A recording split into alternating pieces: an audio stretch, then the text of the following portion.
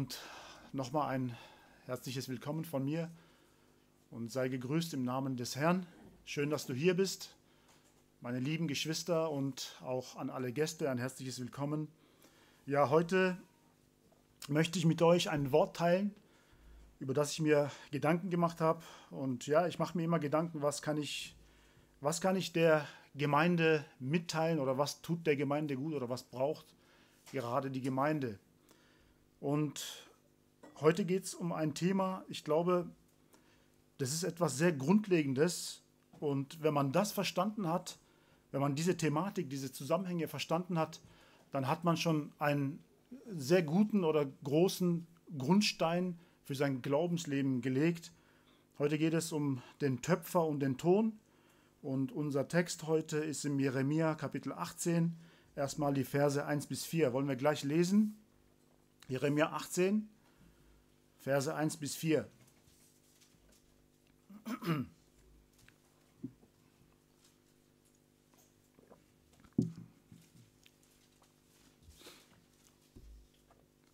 Das Wort, das an Jeremia von Seiten des Herrn erging, lautet folgendermaßen: Mache dich auf und geh in das Haus des Töpfers hinab. Dort will ich dich meine Worte hören lassen. Und ich ging in das Haus des Töpfers hinab, und siehe, da fertigte er gerade ein Werkstück auf der Scheibe an. Aber das Gefäß, das er aus Ton machte, verdarb in seiner Hand, in der Hand des Töpfers. Da fing er von neuem an und machte daraus ein anderes Gefäß, wie es in den Augen des Töpfers richtig war. Hier geht es um einen Töpfer und um Ton. Wir wollen uns das mal anschauen, was das mit uns zu tun hat oder wie das sich verhält mit unserem Leben. Und als erstes müssen wir uns anschauen, was über den Töpfer gesagt wird. Und natürlich ist es nicht schwer zu erkennen oder zu verstehen, dass hier in, diesen, in dieser Bildrede beim Töpfer es sich um Gott handelt. Und lass uns mal, lasst uns mal schauen, wie Gott sich in der Bibel vorstellt, damit wir erstmal den Töpfer einordnen können. Also wie stellt sich Gott in der Bibel vor? Zwei Hauptnamen würde ich sagen, Herr und Vater. Und wenn wir uns als erstes mal Herr anschauen, was Herr bedeutet, da habe ich ein paar Verse rausgesucht, zum Beispiel in Jesaja 42 heißt es: Ich bin der Herr, das ist mein Name und ich will meine Ehre keinem anderen geben, noch meinem, meinen Ruhm den Götzen. Eine andere Stelle, Jesaja 43, ein Kapitel weiter, die Verse 11 bis 13, da heißt es: Ich, ich bin der Herr, und außer mir gibt es keinen Retter. Ich habe verkündigt, gerettet und von mir hören lassen und bin nicht fremd unter euch. Und ihr seid meine Zeugen, spricht der Herr dass ich Gott bin. Ja, von jeher bin ich derselbe, und niemand kann aus meiner Hand erretten. Ich wirke, wer will es abwenden? Die nächste Stelle wäre Psalm 33, die Verse 4 bis 9. Da heißt es über den Herrn, denn das Wort des Herrn ist wahrhaftig und all sein Tun ist Treue. Er liebt Gerechtigkeit und Recht. Die Erde ist erfüllt von der Güte des Herrn. Die Himmel sind durch das Wort des Herrn gemacht und ihr ganzes Heer durch den Hauch seines Mundes. Er türmt die Wasser des Meeres auf wie ein Damm und sammelt die Fluten in Speicher. Die ganze Erde fürchte den Herrn und vor ihm scheute, scheue sich alles, was auf dem Erdboden wohnt. Denn er sprach und es geschah, er gebot und es stand da. Im 5. Mose 32, Vers 6 heißt es über ihn, er ist der Fels, vollkommen ist sein Tun, ja, alle seine Wege sind gerecht. Ein Gott der Treue und ohne Falsch, gerecht und aufrichtig ist er. Und im Neuen Testament, in Römer 3, 10 bis 12, heißt es über ihn, oder über uns besser gesagt dann wieder, wie geschrieben steht, es ist keiner gerecht, auch nicht einer, es ist keiner, der verständig ist, der nach Gott fragt. Sie sind alle abgewichen, sie taugen alle zusammen nichts. Da ist keiner, der Gutes tut, da ist auch nicht einer. Was für ein Kontrast. der Herr, heilig, gut, barmherzig, gerecht und wir, wir, die, die, die er uns gemacht hat. Wir fragen nicht nach Gott.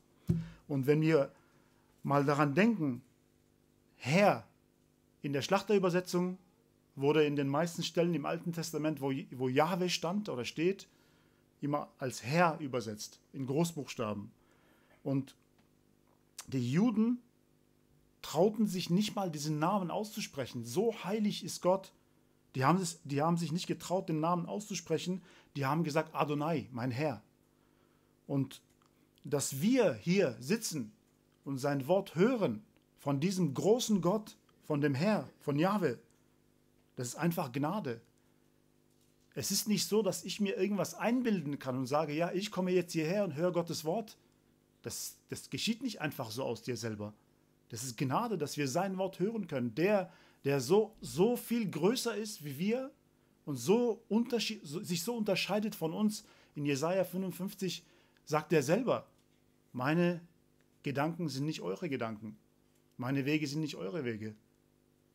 So hoch wie der Himmel über der Erde ist, also so weit weg, so sind meine Gedanken, so, so unterscheiden sie sich von euren. Und wir dürfen dem Herrn eigentlich nur dankbar sein, dass wir hier sitzen dürfen und sein Wort hören dürfen von diesem großen Gott.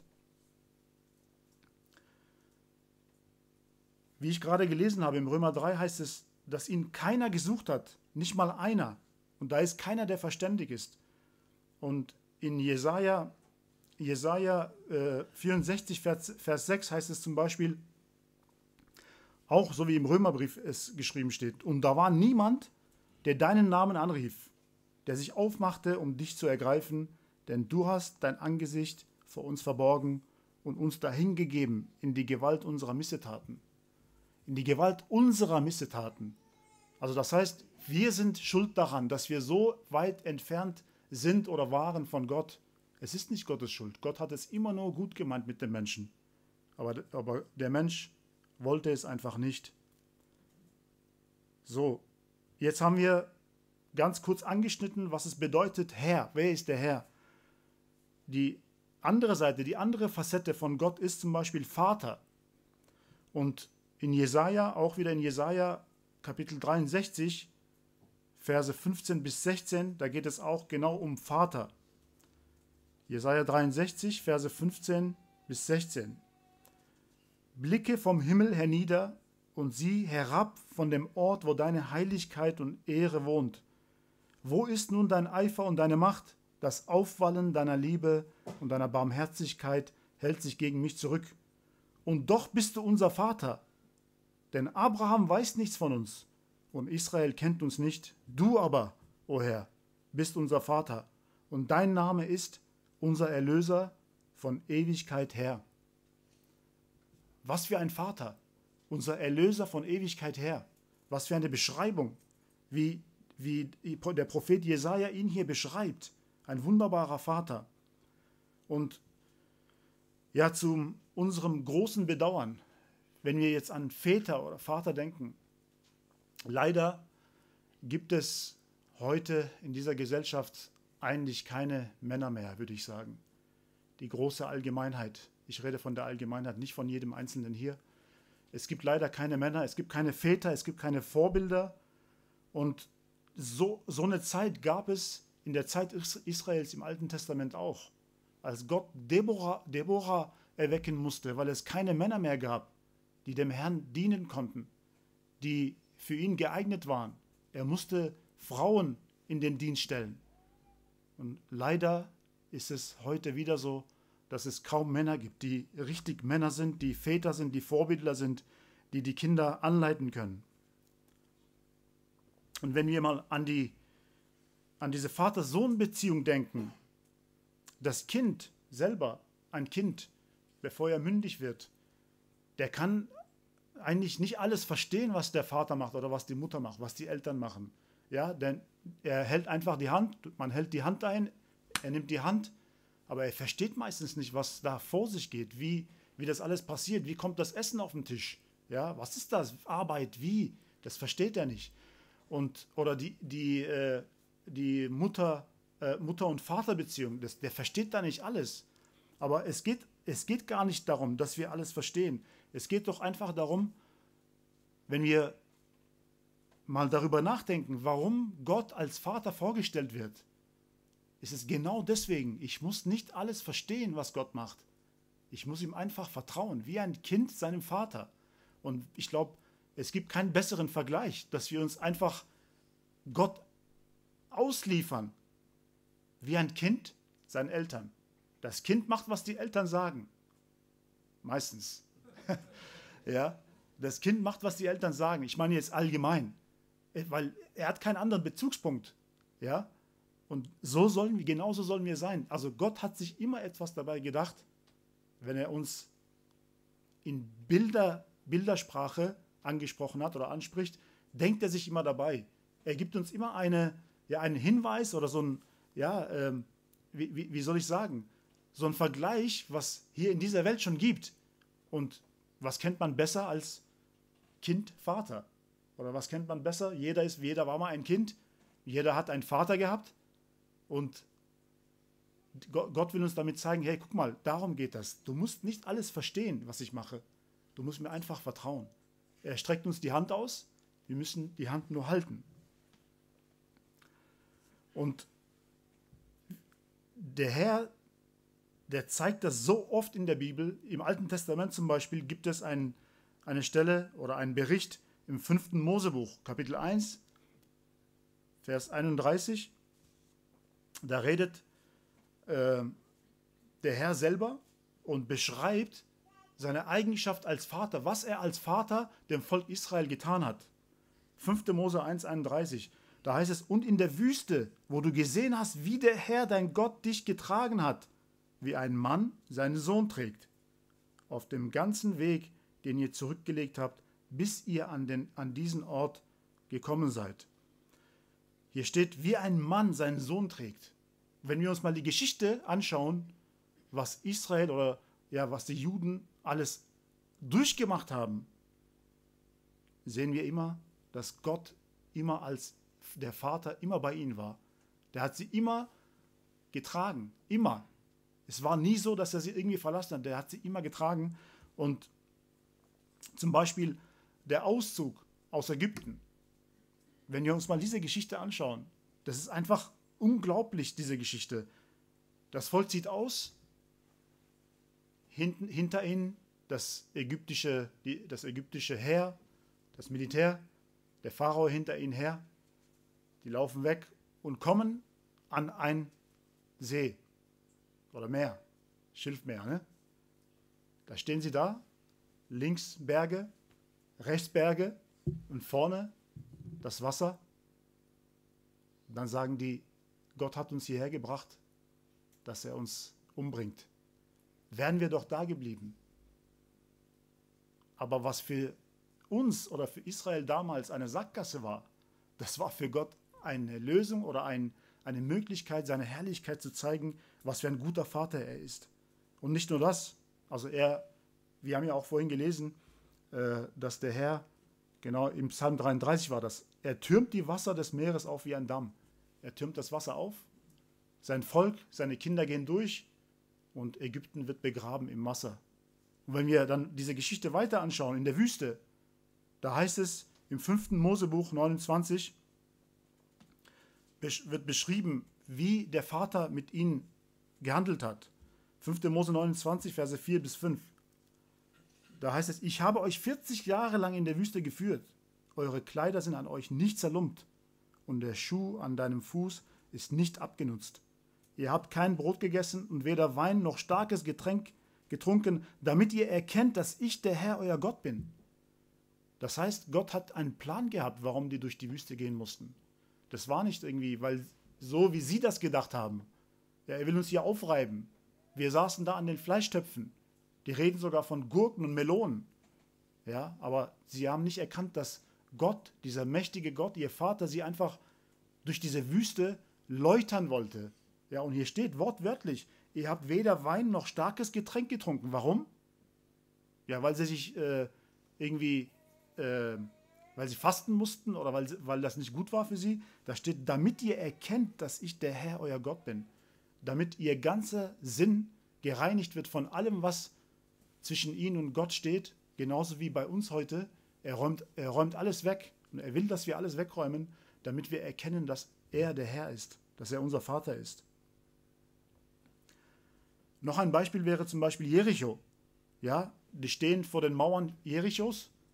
Dann heißt es ja, lauft siebenmal, also äh, sieben Tage, jeden, jeden Tag einmal um die Stadt herum und dann am siebten Tag dann siebenmal rum. Wenn man das heute erzählt, dass man so einen Krieg gewinnt oder so, das ist ja lächerlich, würde man sagen. Aber heute gibt es Beweise, dass diese Mauern eingestürzt sind. Und solche Mauern stürzen nicht einfach so ein. Und wie gesagt, das sind für uns vielleicht Sackgassen. Wir denken vielleicht nicht so weit, wir können gar nicht so weit denken, aber für Gott sind das Lösungen und eine Möglichkeit, sich zu zeigen, wie herrlich und wie wunderbar er ist. Genau, Herr, Vater. Und jetzt kommen wir, glaube ich, bei diesem äh, Vergleich zum, zur wichtigsten Eigenschaft. Es geht um den Töpfer. Und wenn wir, wenn wir uns mal vorstellen, ich weiß nicht, ich hoffe, es weiß jeder, was ein Töpfer ist, was Ton ist. Ja? Das ist so eine Scheibe, eine runde Scheibe. Und früher, also heut, heute gibt es ja diese Geräte elektrisch, da drückst du unten auf ein Pedal, dann dreht sich die Scheibe und dann kann man den Ton formen zu einem Gefäß. Ja? Und früher war das so, dass sie das mit dem Fuß immer so wippen, also drehen mussten, ne? den Antrieb durch den, mit dem Fuß äh, erledigen mussten.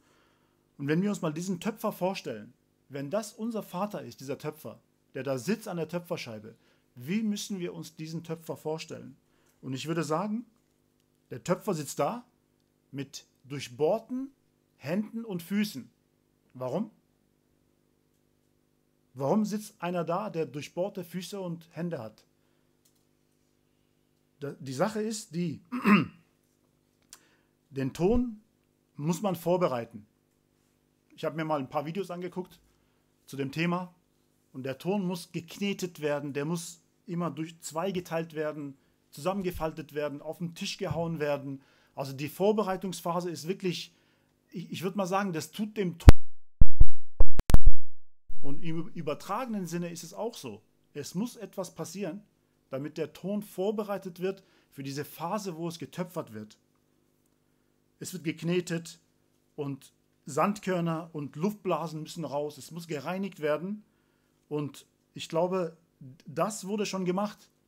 Diese Vorbereitungsphase, also die, die, die Grundlage, der Grundstein ist gesetzt. Wie? Durch den, Tod, den Kreuzestod Jesu Christi. Er hat für uns bezahlt. Er hat uns gereinigt. Also die, er hat die Grundlage geschaffen. Das heißt, er hat uns erkauft. Er hat diese, diese Vorbereitung schon äh, durch, äh, durchgezogen.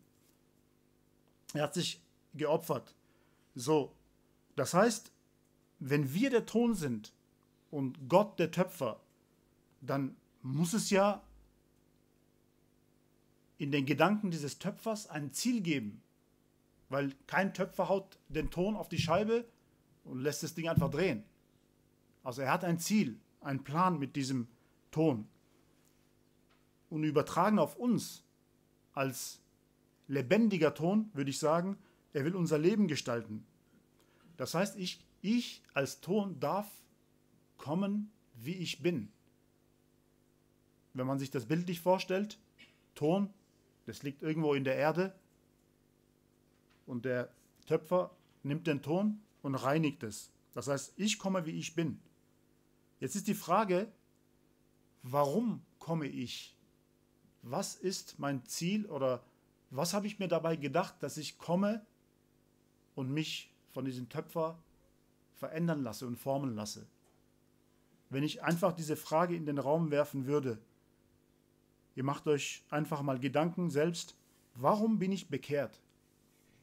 Also aus welchem Grund? Was ist passiert, dass ich mich bekehrt habe?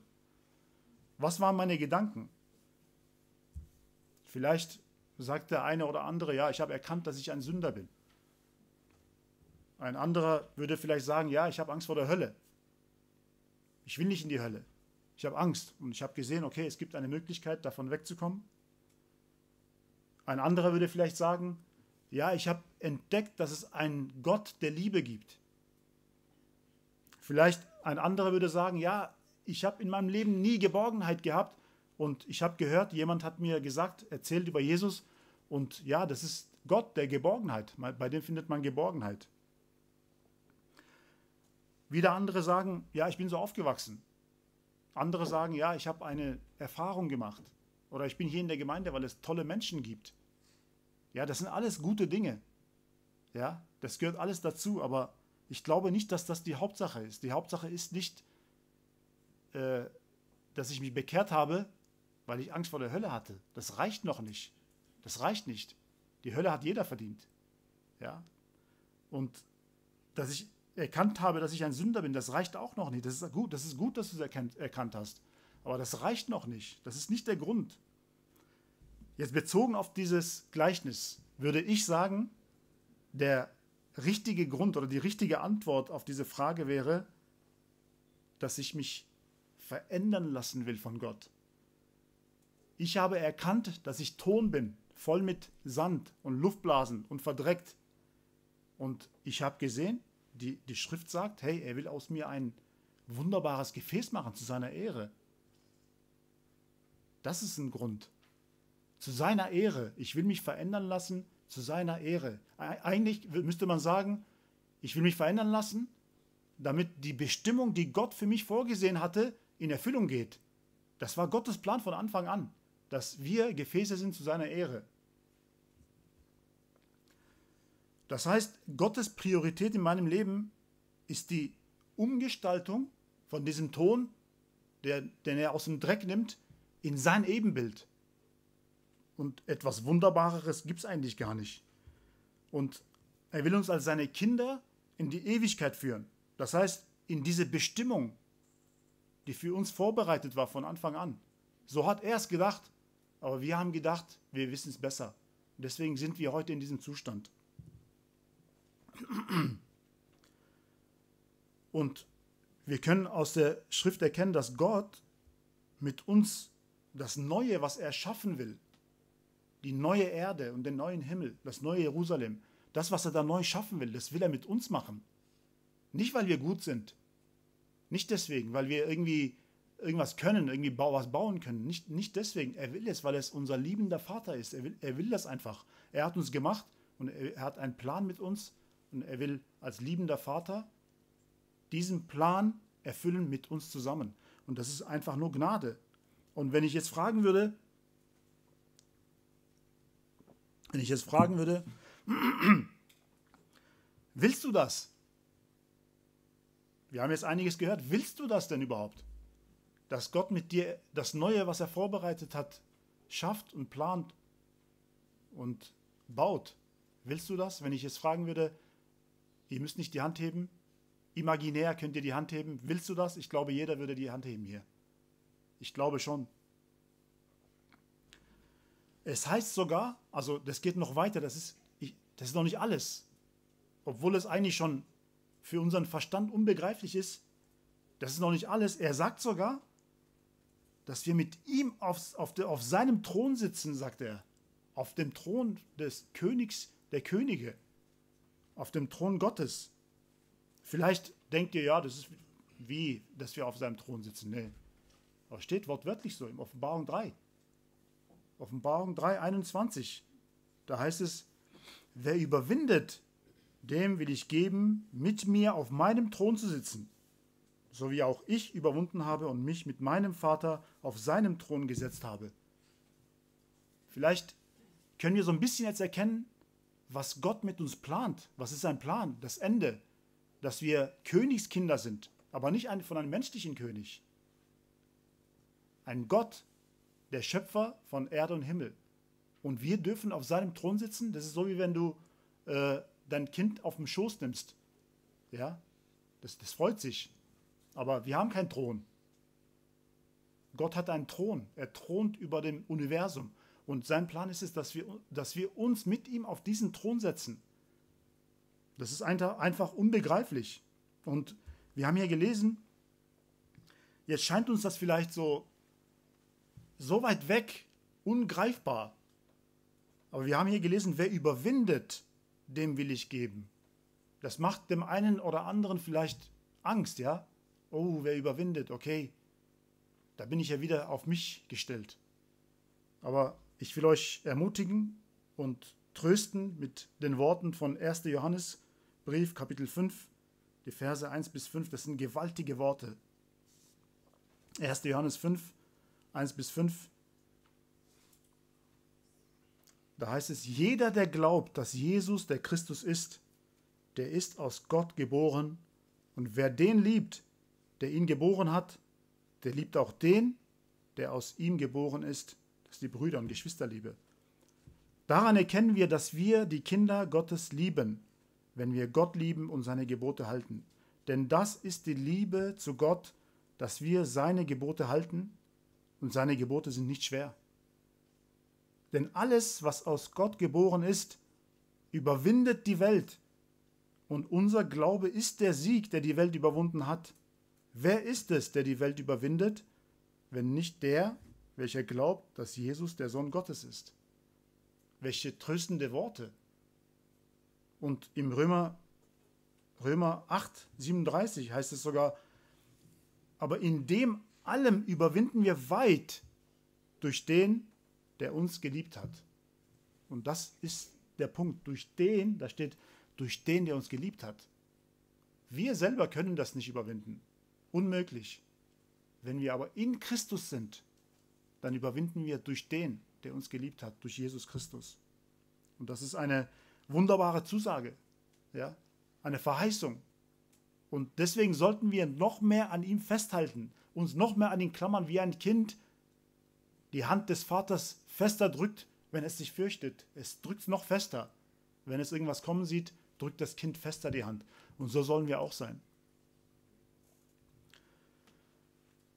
Schöne Worte, schöne Aussicht, schöne Verheißungen.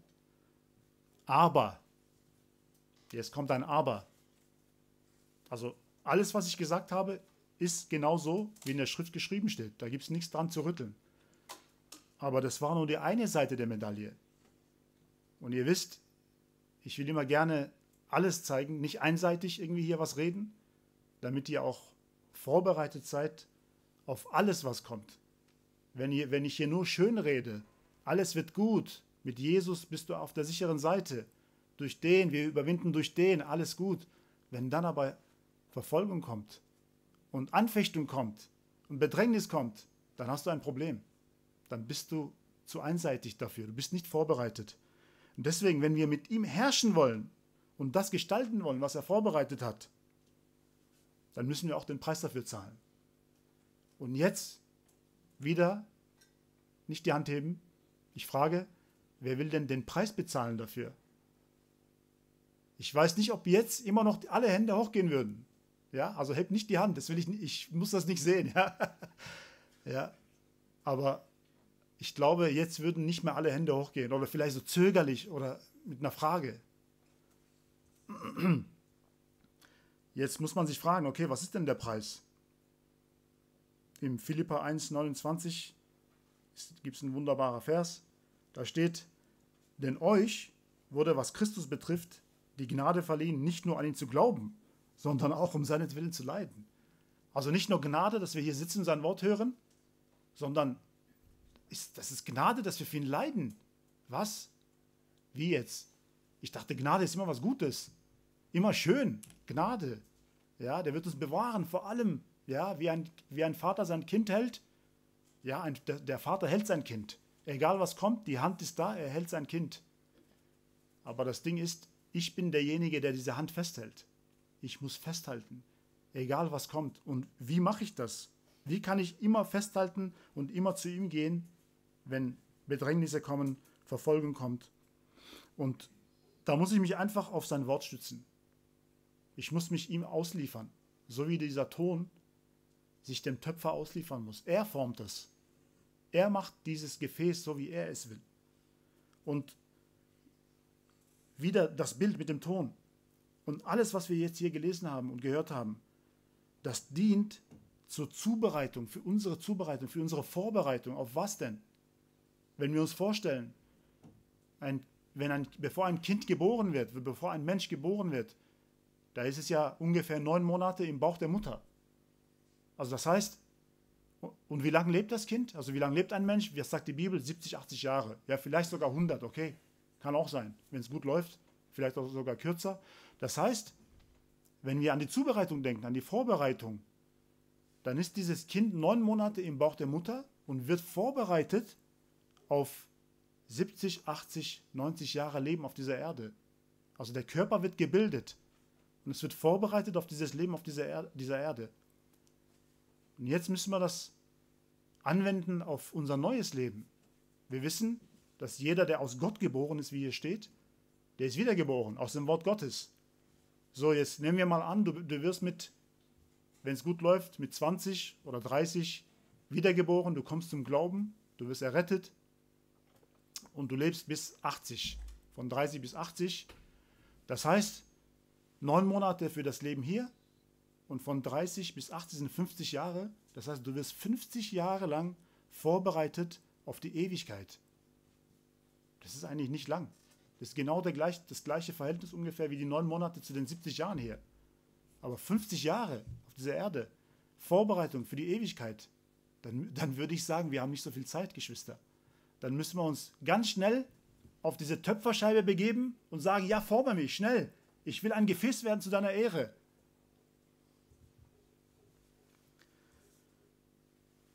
Wir werden vorbereitet auf dieser Erde, wir werden geformt als Ton und deswegen müssen wir alles in unserem Leben diesem höchsten Ziel unterordnen. Was ist das Ziel?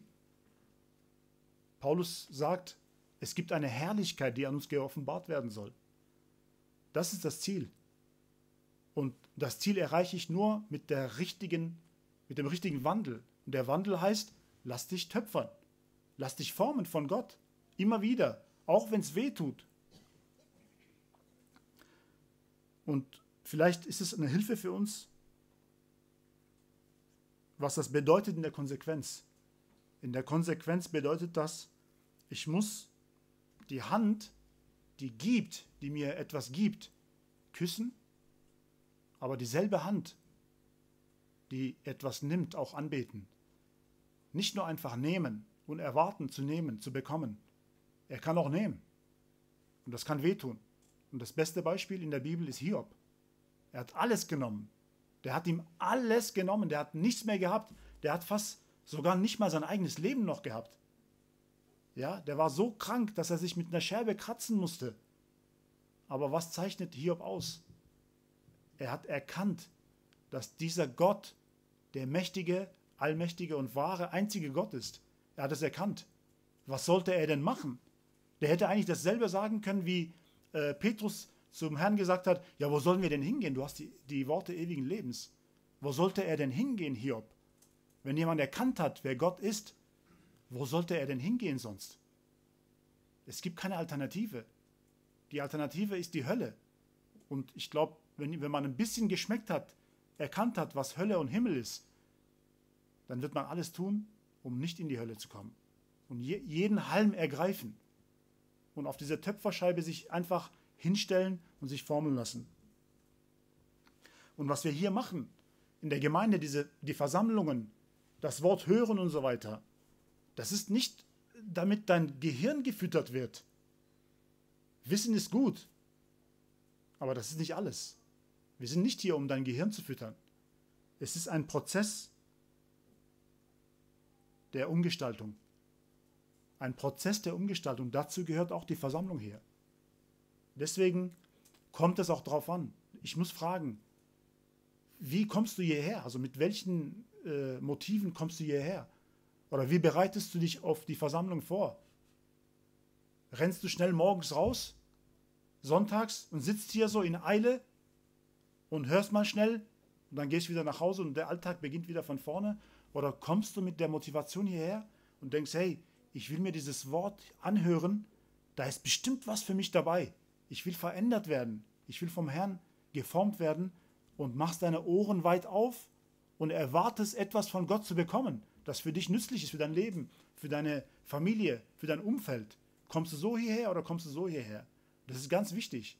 Denk bitte daran.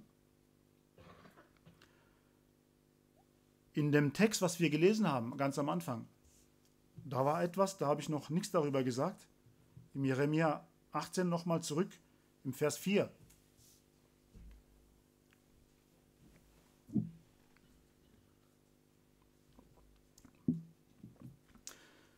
Der erste Teil von dem Vers 4, da heißt es, aber das Gefäß, das er aus Ton machte, verdarb in der Hand des Töpfers. Was bedeutet das? Man könnte jetzt sagen, ja, der Töpfer ist doch schuld, wenn der Ton verdirbt. Der hat doch das Sagen. Wisst ihr, das Problem ist, dieser Ton, also wir als Ton, wir haben ein großes Problem. Wir haben einen Willen. Wir haben einen Willen. Das ist unser Problem.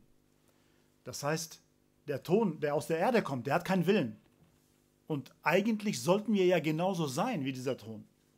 Wir sollen keinen Willen haben. Welchen Willen sollen wir denn haben? Es gibt ein Lied, was wir singen. Mein Wille gehört meinem Herrn. Mein Wille gehört meinem Herrn. Also so wie der Ton aus der Erde, der keinen Wille hat, so sollen wir sein. Aber wir haben ein Problem. Und dieses Problem wurde ganz am Anfang der Weltgeschichte zum Verhängnis des Menschen. Sein Wille. Das war, das war ihm zum Verhängnis. Und im äh, Vers, Verse 5 bis 12, jetzt im Jeremia 18, wenn wir ein Stück weiterlesen, Verse 5 bis 12. Da sehen wir den Grund, warum der Ton verdarb. Warum es in seiner Hand missriet, steht in einer anderen Übersetzung. Jeremia 18, Verse 5 bis 12. So. Da erging das Wort des Herrn an mich folgendermaßen. Also das ist kurz nach der Stelle, wo es um den Töpfer und den Ton geht. Ne? Kann ich mit euch nicht genauso umgehen wie dieser Töpfer, du Haus Israel? spricht der Herr. Siehe, wie der Ton in der Hand des Töpfers, so seid ihr in meiner Hand, Haus Israel. Einmal rede ich über ein Volk oder ein Königsreich, Königreich, dass ich es ausrotten, verderben und zugrunde richten will, wenn aber jenes Volk, über das ich geredet habe, von seiner Bosheit umkehrt, dann reut mich auch das Unheil, das ich über sie zu bringen gedachte.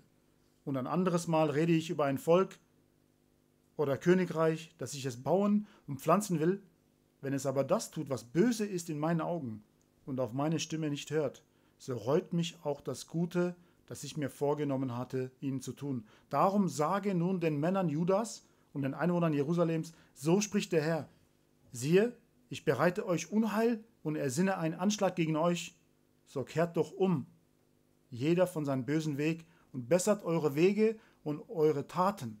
Und jetzt kommt der Grund, warum dieser Ton verdarb. Aber sie sagen, daraus wird nichts, denn nach unseren Ratschlägen wollen wir wandeln und wollen jeder nach der Verstocktheit seines bösen Herzens handeln. Also wenn Gott etwas verheißt, er sagt, hey, ich will das Gute für dich. Nimm das Gute. Wie geschrieben steht, ich habe euch Fluch und Segen äh, vorbereitet, vorgehalten. Nimm das Gute, Leben und Tod. Nimm, nimm das Leben. Und die sagen, nee, das, da wird nichts draus. Wir machen das, was wir wollen. Der Ton spricht. Dieser Ton, der aus, aus, aus der Erde kommt, Elihu sagt zu Hiob, er sagt, du bist doch auch aus Lehm, wie ich genauso. Und wortwörtlich, der Mensch ist aus Lehm, aus Ton, aus Erde. Aber sein Problem ist dieser Wille, der immer gegen Gott streitet, seit dem Sündenfall.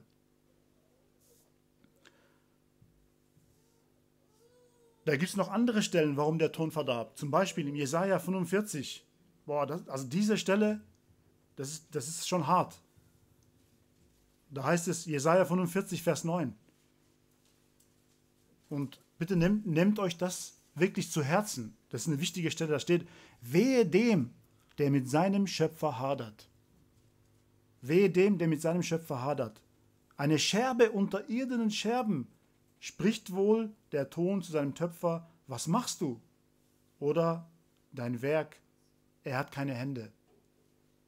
Ich glaube, das verdeutlicht nochmal unsere unsere Stellung, wie wir in der, im Angesicht Gottes dastehen, wie eine irdene Scherbe. Und er sagt, wer mit seinem Schöpfer hadert, der ist wie eine Scherbe. Und wenn wir das auf das Bild des Töpfers anwenden, ich weiß nicht, ob jemand von euch eine Werkstatt von einem Töpfer gesehen hat. Ich habe es gestern gesehen in diesen Videos. Da liegen auf dem Boden ganz viele Scherben.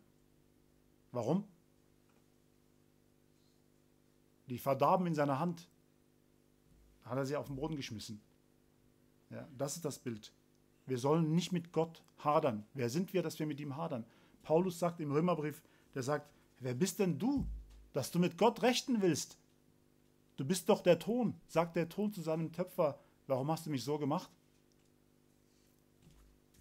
Im Jesaja 29, Verse 15 bis 16 heißt es auch über den Ton, der verdarb. Wehe denen, die ihren Plan vor dem Herrn tief verbergen, damit ihre Werke im Finstern geschehen. Die sprechen, wer sieht uns oder wer kennt uns? O eure Verkehrtheit, soll denn der Töpfer dem Ton gleichgeachtet werden oder das Werk von seinem Meister sagen, er hat mich nicht gemacht? Oder das Geschöpf von seinem Schöpfer sagen, er versteht das nicht? Eigentlich ist es ganz logisch. Kein Bild kann zu seinem Maler sagen, warum hast du mich so gemacht?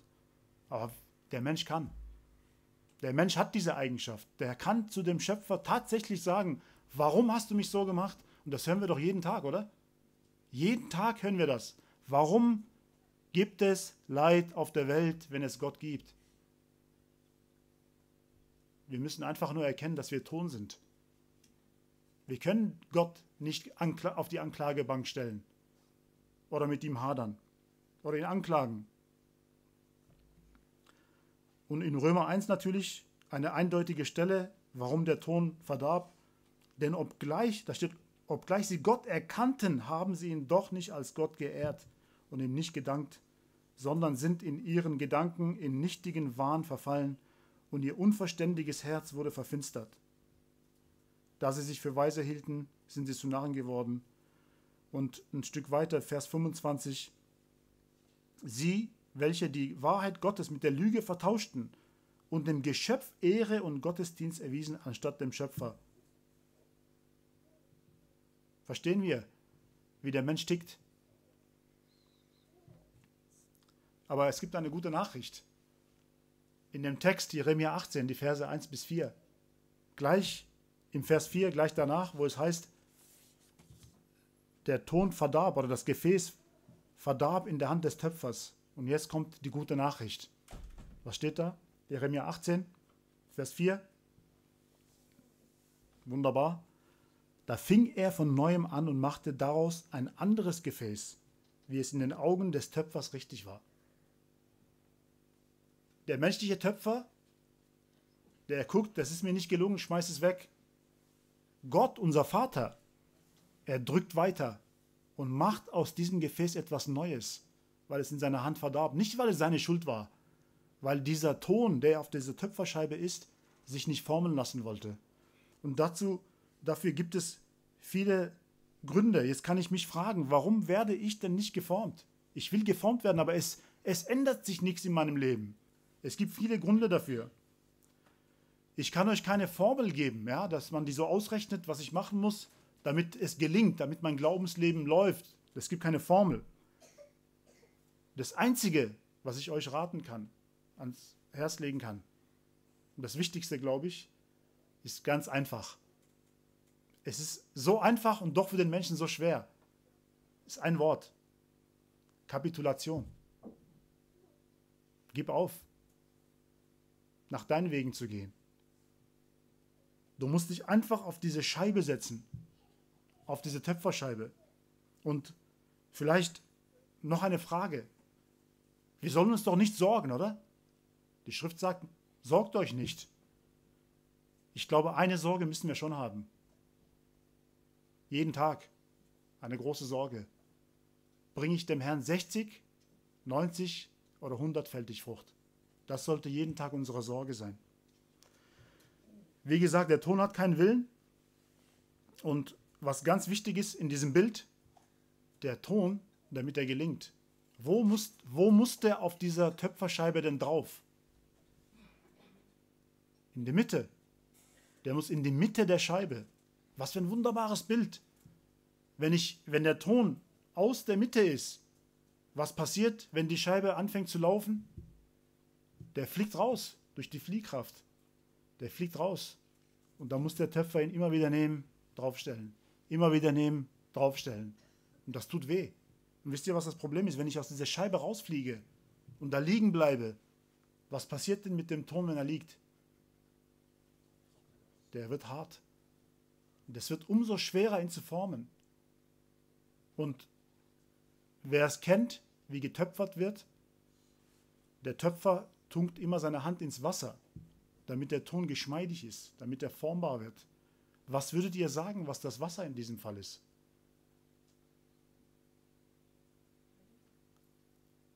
Das Wort. Das Wort ist das. Wir müssen, wir brauchen Weichmacher. Der Weichmacher ist das Wort Gottes. Immer wieder und immer wieder und immer wieder. Der Töpfer tunkt seine Hand immer wieder in die Hand. Immer wieder in die Hand, weil das trocknet. Er tunkt sie rein, macht es geschmeidig und formt den Ton.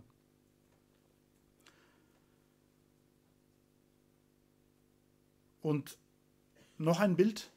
Also das, geht, das hört eigentlich gar nicht auf mit dem Töpfern. Das ist ein wunderbares Bild. Wir sind jetzt fast schon am Schluss und ich will nur noch ein Bild äh, so ein bisschen verdeutlichen. Was macht man denn nach dem Töpfern mit dem Ton?